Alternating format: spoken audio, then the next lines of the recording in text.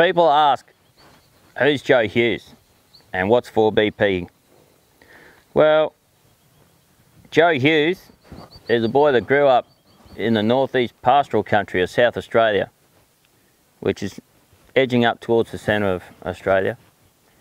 It was a seven inch rainfall country, which was uh, regarded as semi uh, desert.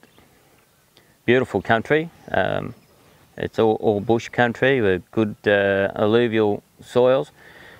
And we grew up, well, I grew up in, in a horse world.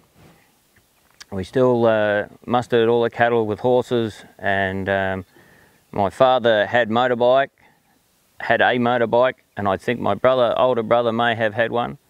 I was introduced to a motorbike when I was about 11 and um, in those days they only made motorbikes in one size. They came in different widths but they seemed to only come in one height and until your legs were long enough to reach that's all you got.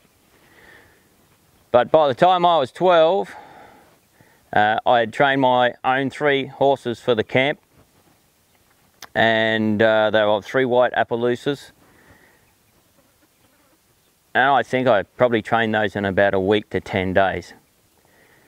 So my uh, background in horse training is quite extensive and when I left school at 16 I travelled a lot of the uh, stations that still were using horses and then they ventured away from horses into helicopters and now most of the inland's gone back to horses again.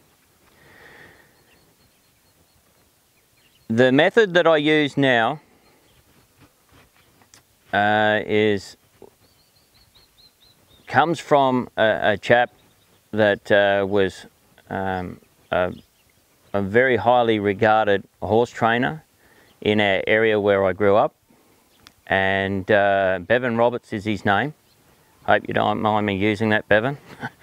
and uh, we held a, a horse training um, school for an educational uh, group here in Australia it's called TAFE and we did that for 17 years on the station I grew up on. And once a year we would have um, a number of students come in. Uh, initially they were all station men and uh, ringers, cowboys from all over the countryside.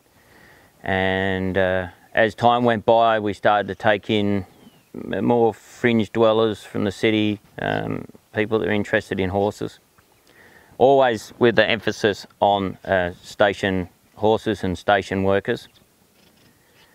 And this Bevan one day told me about a chap that trained a horse with about a nine inch stick, just a little 19, 20 mil stick. And he said he trained this horse, not Bevan, but this chap that he told me about, about pressure and release with the stick to make this horse do everything it had to do.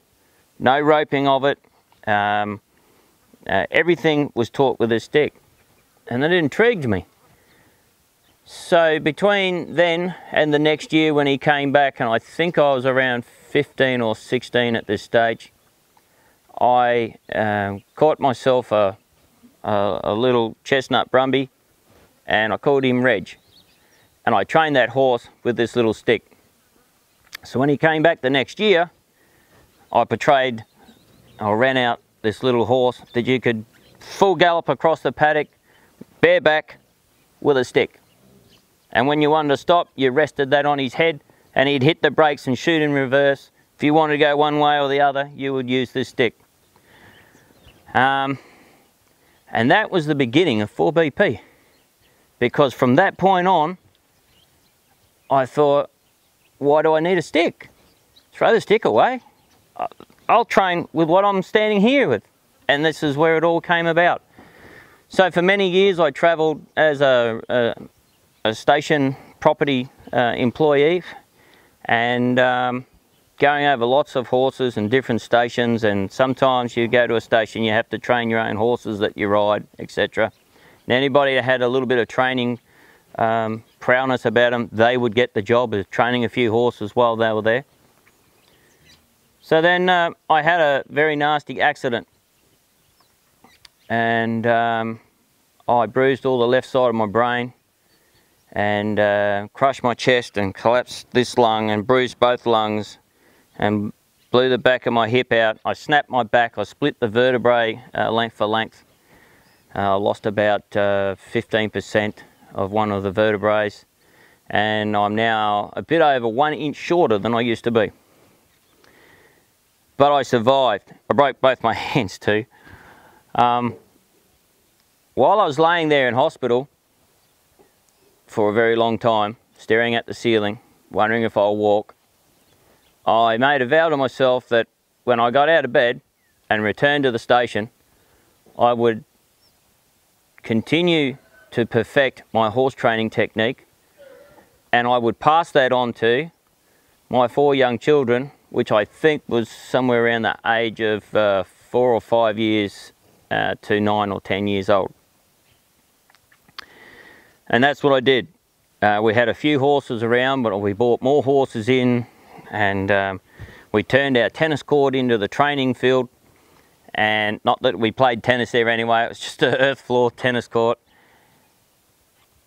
And in my steel frame, um, I'd come out in short spells from the house and we would train these horses.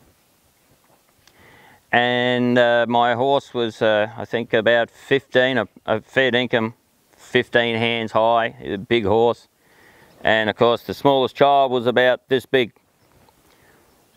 But they trained him and um, and they trained many more since. And now I have my youngest son at 15 and um, and my uh, eldest horse person at 17 and a 16 in the middle. So there's three of my children that are interested in horses, training wild stallions, which are all out here to the side of me, every day of the week, themselves. Stallions that 98%, 99% of the horse world here in Australia would not even enter the yard with. This is how safe our programs turned out to be. So we progress on, I injure myself, I struggle with the stations. Uh, we have 200,000 acres of country nearly. Uh, my health continues to fail physically because of my uh, injuries. And we had a rather large drought. The drought broke and of course when all drought breaks there was ample feed, ample water and the government had started a cull program in New South Wales and Victoria to remove the uh, wild mustangs and brumbies from a place called Mount Kosciuszko National Park. It's a World Heritage listed park.